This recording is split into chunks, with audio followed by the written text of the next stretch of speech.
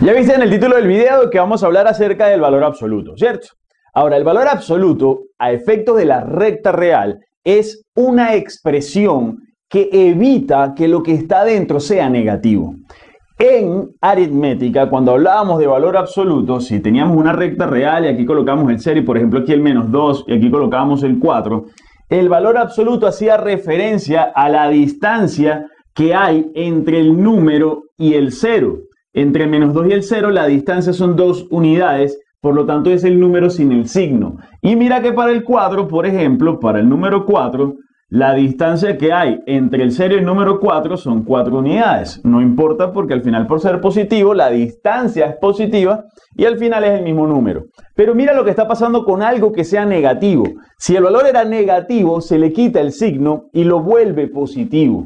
Y si es positivo, lo deja intacto. A partir de allí hay una expresión que permite reescribir eso.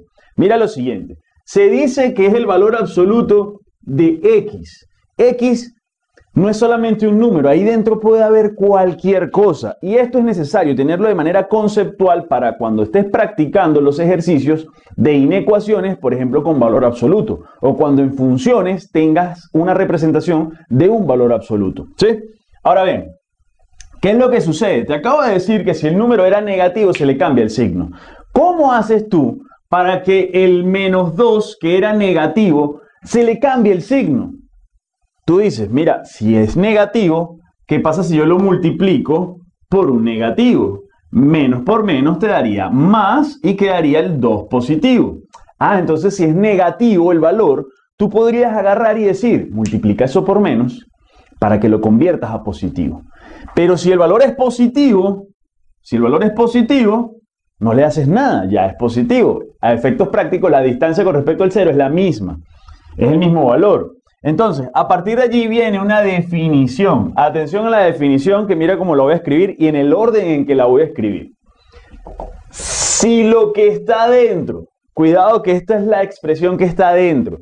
Si lo que está dentro es mayor o igual que cero, es decir, si estás si estás colocando lo que está dentro te da un resultado que sea mayor o igual que cero, aquí cerrado a esto, el valor absoluto no le hace nada porque ya es positivo. ¿Me explico? Entonces allí tú dices, como no le hace nada, lo que está dentro queda intacto.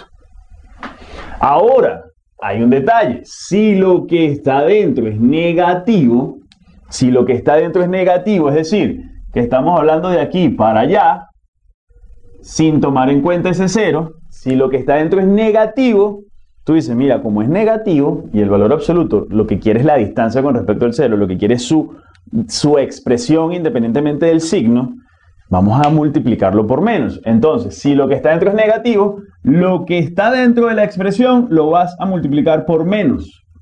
Ya se sabe que el signo de esto, por ser negativo, se multiplicaría por menos y se convierte a positivo. Esa es la definición formal del valor absoluto.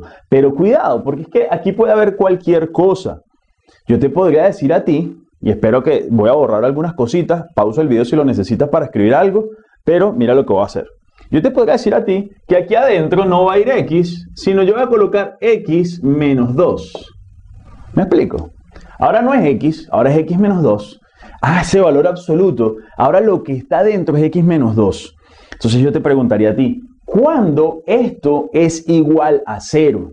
Ah, no, tú responderías, mira, x menos 2 es igual a 0 cuando x es igual a 2. ¿Por qué? Porque 2 menos 2 daría 0.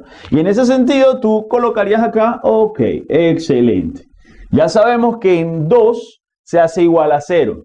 Entonces en una recta real, para esta expresión, en una recta real, si nos ubicamos en el 2, ¿qué pasaría en x menos 2 si tú colocas valores que vayan de aquí en adelante? ¿Qué pasaría si colocas valores, por ejemplo, 3, 4, 5? 3 menos 2 daría 1, 4 menos 2 daría 2. Mira que de ahí para allá da valores positivos. Pero de aquí para acá, 1, por ejemplo, que está del lado izquierdo, 1 menos 2 da menos 1, 0 menos 2 da menos 2. Tú dices, mira, de aquí para acá da valores negativos.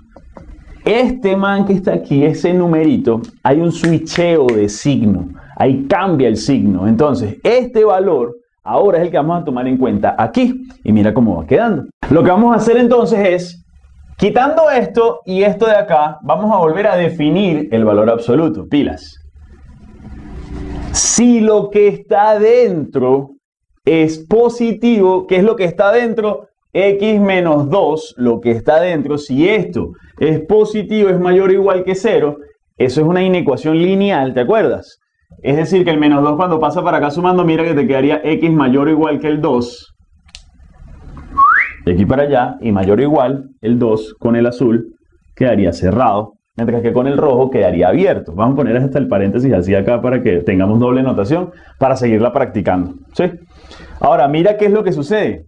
Que si lo que está dentro, que es x menos 2, es positivo, y eso pasa cuando tú tomas valores mayores o iguales al 2, el valor absoluto no le hace nada porque tú estás garantizando que de aquí para allá sea positivo. Por lo tanto, eso queda igualito. Mira, quedaría el x menos 2. Y le voy a colocar así un paréntesis a propósito. Se van las barras y queda solo el valor absoluto.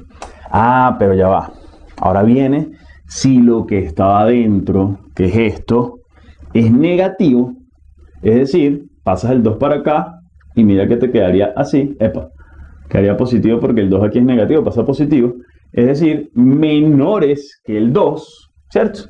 Si eso pasa, si lo que está dentro es negativo, que sucede en esta situación, el valor absoluto, ¿qué es lo que hace? Las barras dice, hey, estás metiendo valores negativos. Por ejemplo, en la X metiste el 1, metiste el 0, el menos 1, menos 2, hasta valores eh, en los números reales, pueden ser racionales, irracionales, no importa el que sea. Pero entonces el valor absoluto dice, no, le cambio el signo. Para cambiar el signo, algo que ya sabes que es negativo, si esto ya estás diciendo que es negativo, para cambiar el signo, ¿qué?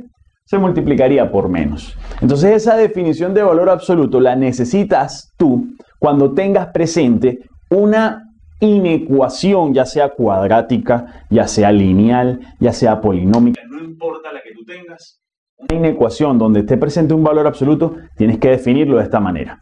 Vamos a dejarlo hasta acá.